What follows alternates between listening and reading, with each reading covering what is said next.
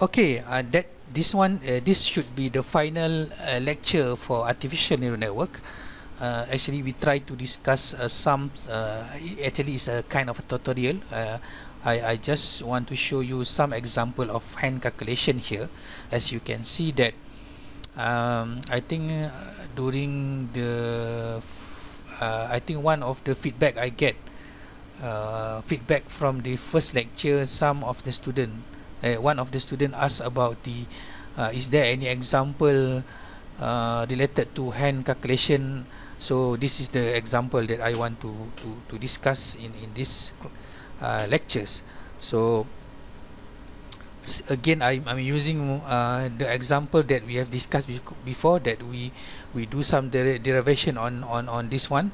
Of course when you do the hand calculation you don't have to to uh, derive this equation anymore uh, because you can simply if you know the the formula you can just uh, uh, uh, put the numbers and then based on the formula then you can get the, the the result there. Okay?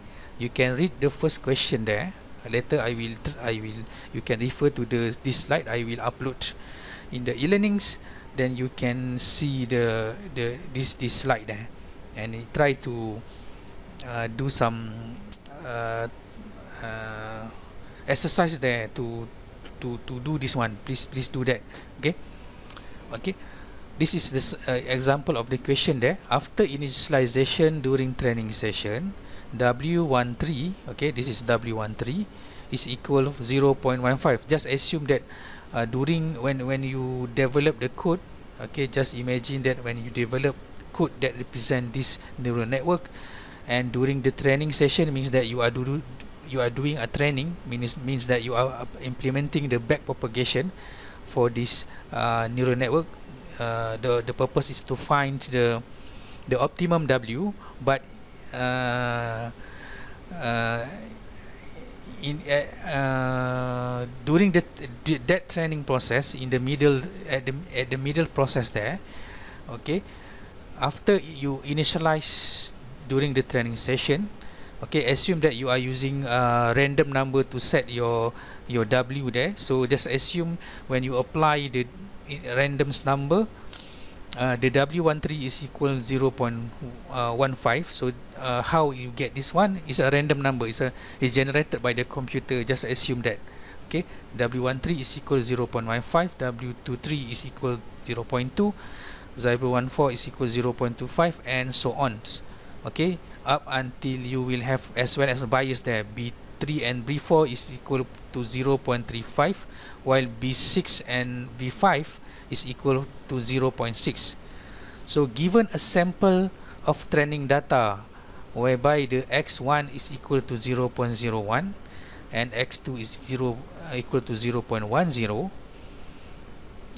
and this is the actual output. Y1 is equal to 0.01 and y2 is equal to 0.99 so the equation is calculate the total error during forward pass. So what is meaning by total error? You need to remember that if you have two output like this the total error should be you need to total up between the error happen at the uh, at the output 1 and error happen at the y uh, at the output 2 then you need to total up. That is total error. But let's say if your architecture have only one output so that's mean the total error should be only the the error that happen at that output okay? So then again you need to do what you need to do. Then you just can you need to label up everything's according to the the the given questions there. And then of course uh, to get the error you need to implement the forward pass. Of course even the question there asking about calculate the error total error during the forward pass. So then you need to go from this uh, site into these sites to calculate the errors there. Is a direct questions there. Okay then you need to proceed at the first layer uh, I'm sorry you need to proceed at the hidden layer first so based on the equation there you can find the net 3 is equal to 0 0.335 and then from the net 3 you can obtain the um, the the the O3 forget to yep you need to also see in this question that assume the activation function f for each neuron is a sigmoid function. So that's why here you are just implementing the sigmoid function then you can get uh, the O3 and then you repeat the process again for uh, to, to find the O4 there. I, I hope I hope uh, later you can try to calculate this one to check whether this uh, the, this answer is correct or not. Okay? You need to repeat this process again for O to find the O4 there. And then uh, after you find O3 and O4 of course you can proceed into uh, output layers there. Then you just calculate then you get the net 5 uh, and then from the net 5 you get the O5 and then you need to repeat the same process for to find the O6 there. So it wants to find the O6 and and then of course the O5 and O6 over here should be your Y hit 1 and Y hit 2 there. Okay? If you check back the pictures there okay this is O5 here. This is O6 here. So means that Y1 should be equal to O5 Y2 head here should be equal to O6 so it's a direct set okay so finally to find the total error you need to calculate the E1 and E2 so of course E1 there is equal to this equation okay SSD and then uh, this one is this value come from your uh, your your hand calculation there result from here 0 0.75 uh, 7514 and then this one is come from the question. Remember that this is actual y1 okay actual y1 is uh, what is the actual y1 is 0 0.01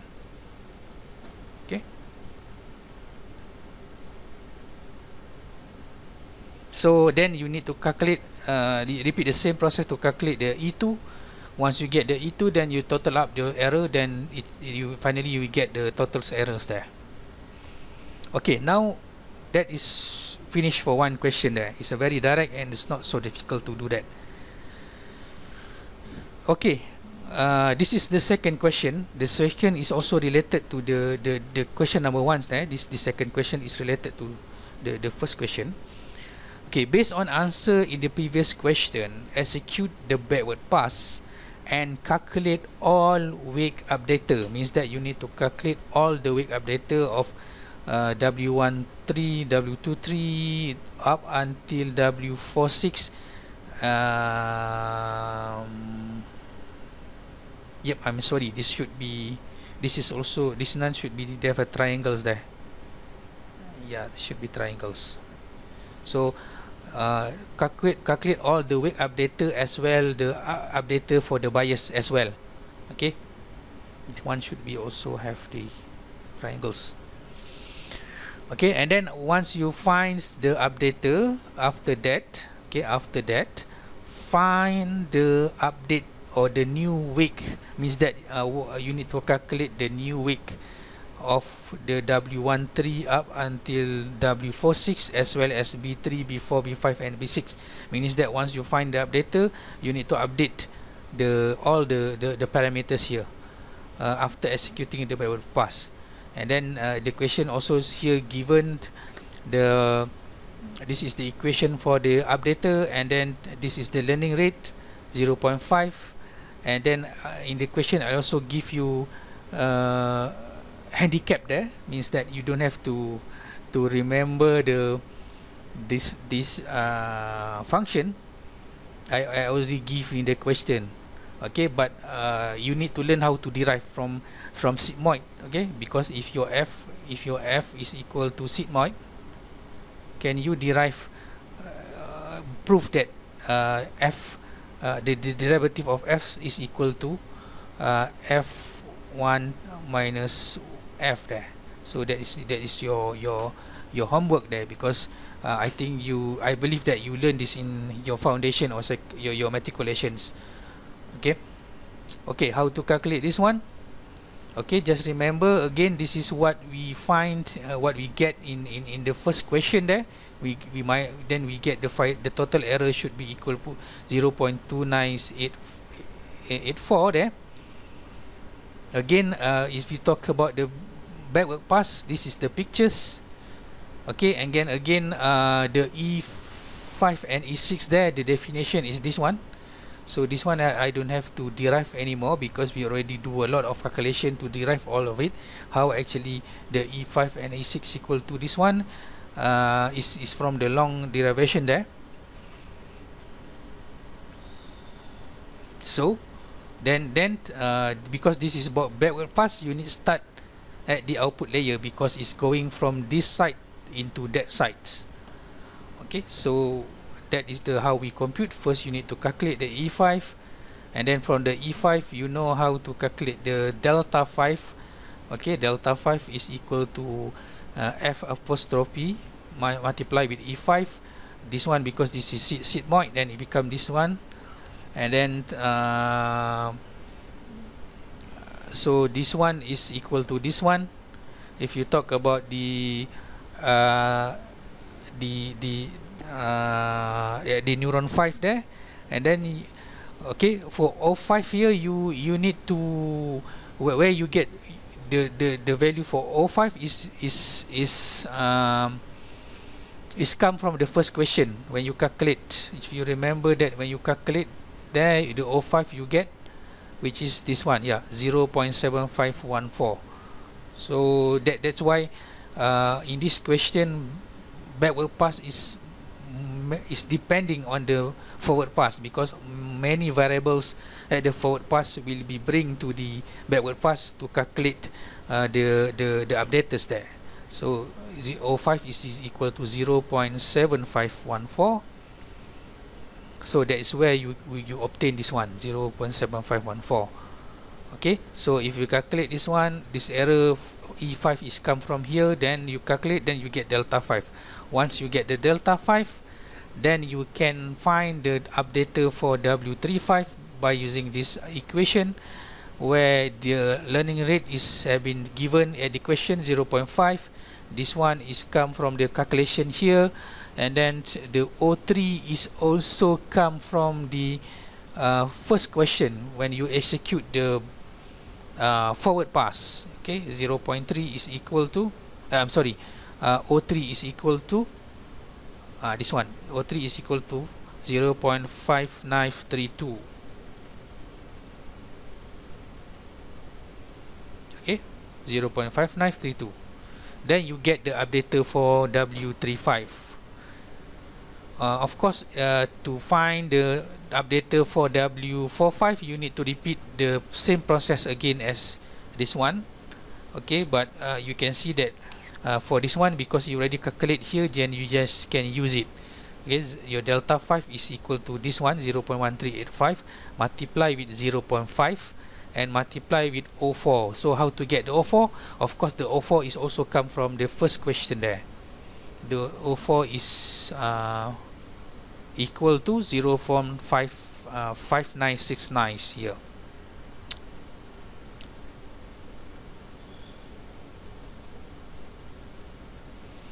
And then you you also as uh, do the same things for bias there B5. Uh, B5 is just multiply between the learning rate there 0.5 and your delta 5.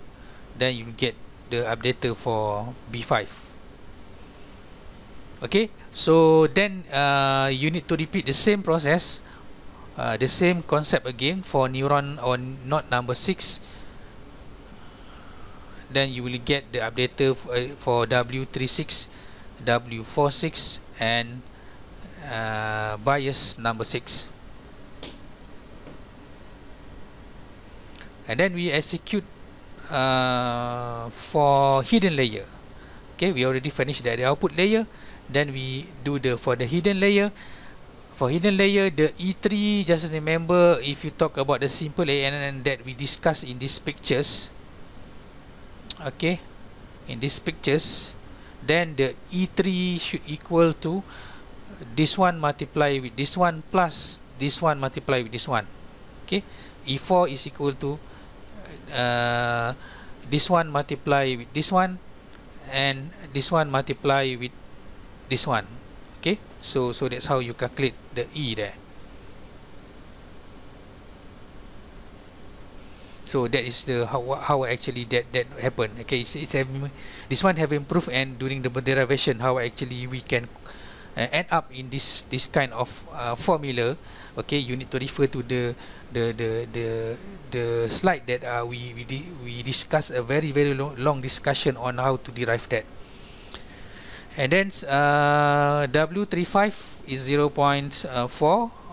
okay uh, then uh, okay uh, you can see you can see here please do not update the w first. Let's find all the updater first before and and after you find the all the updater then you need to update all the w. You can see that's why i in the questions there even i i ask you to find all the updater first.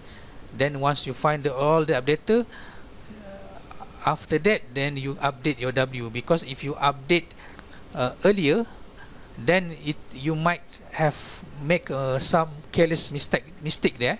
Because uh, when you apply when you want to uh, find the updater for uh, output layer is not a problem but when you find when you want to find the updater for hidden layer here if you update earlier this w35 and w45 then your e is wrong because you are using the new w35 and w36 to calculate the e3 so so that's why don't update after uh, don't don't update your your wake uh, before you can get all the updater of the whole neural neural networks.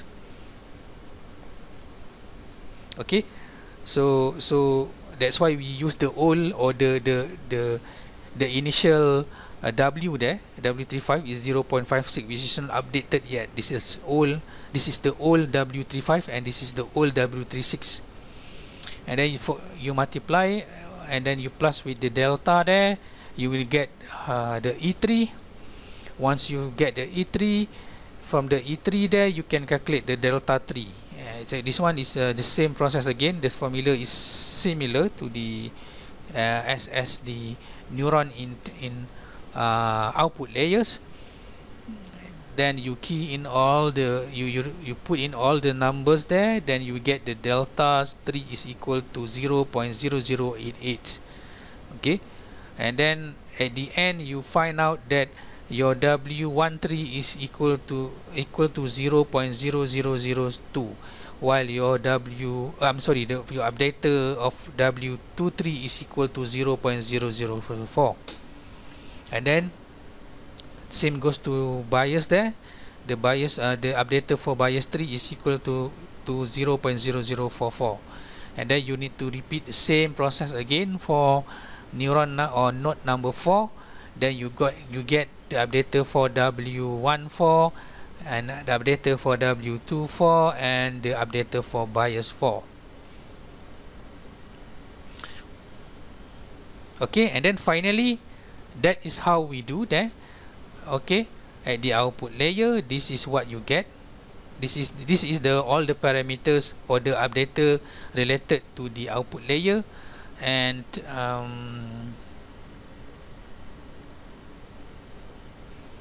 and then you can use the formula to update your W's there. So that's why in your new W's there W35 is equal to 0.3560 and then um, um, the B5 there is equal to 0.5304 and then if you repeat the other parameter then you you will get 0 uh, the, the new W46 is equal to this and W36 is equal to this and W46 is equal to this. Okay? And then uh, this is for the um, yep this is for W that involved at the hidden layer. Okay? The w13 the new the new w13 is this one w14 is this one w223 uh, is this one and w24 is this one qué?